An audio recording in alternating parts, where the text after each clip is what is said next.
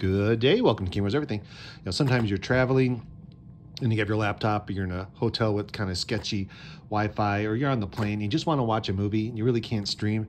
And about the only way going to get to is with the DVD. And of course, most modern laptops no DVD player. So you're going to want to rip your DVD so you can at least watch it on the plane. And that's what we're going to look at today. We're going to look at some software called WinX DVD Ripper Platinum, and I think you're going to like it quite a bit. Uh, sometimes you can get the free ones and then put watermarks, things like that, or you get a limited uh, try on it. But you want something that's actually that you're going to pay for and be able to use all the time. And WinX DVD Ripper Platinum, that's what we're going to look at. So let's take a look at it.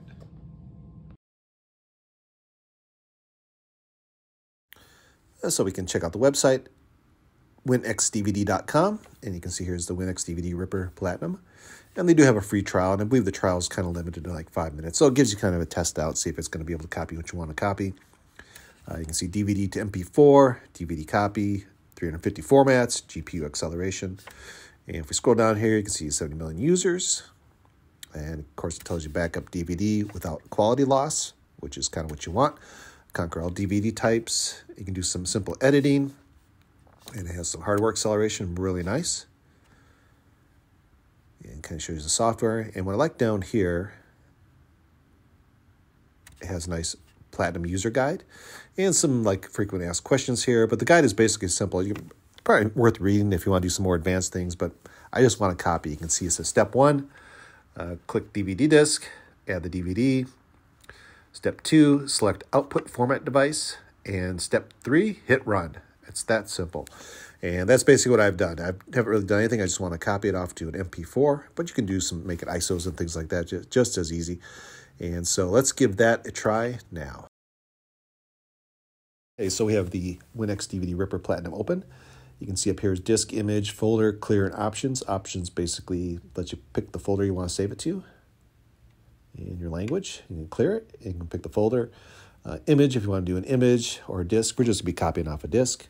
And you can see over here on the right, you have hardware acceleration, Intel, NVIDIA, use high quality engine, deinterlacing, safe mode, and you can, which I think this is really nice. You can pick how many cores of your CPU you want to use. And so you have four core CPU. But if you want to use, you know, watch, do some YouTubing while you're ripping your DVDs, you might want to just pick two cores or something like that. But we're just going to do a disk. And you see here's the disk, automatically detected.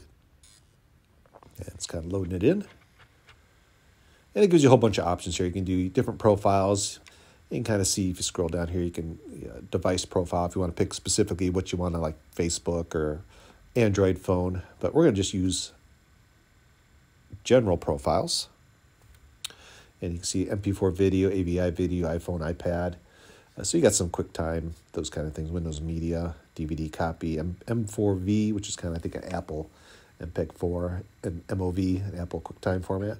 But we're just going to do MP4 video, say OK, and we'll just pick the main title because that's the one we want, and click on Run. And that's it. That's all you got to do to copy your DVD.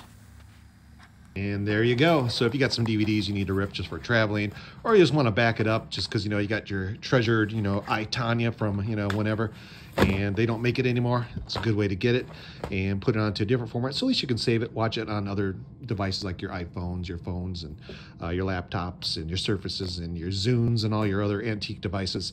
That's the way to go. So I hope you guys, that's you guys, have a great day.